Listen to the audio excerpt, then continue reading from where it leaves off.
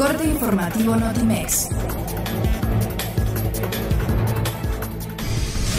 Como lo anunció el presidente Andrés Manuel López Obrador, desde la mañana de este viernes inició operaciones la primera coordinación de la Guardia Nacional en Minatitlán, Veracruz.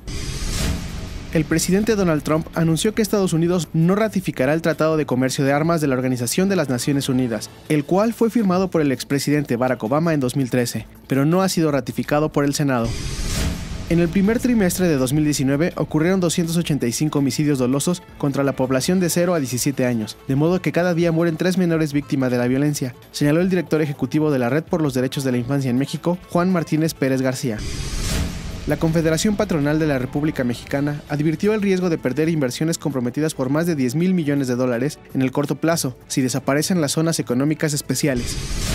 La UEFA, a través de su órgano de control, ética y disciplina, impulsó una suspensión de tres partidos en contra del futbolista brasileño Neymar Jr.